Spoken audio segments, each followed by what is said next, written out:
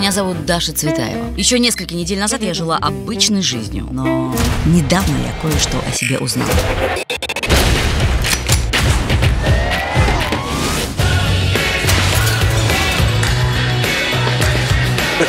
Возьми меня с собой работать, пожалуйста.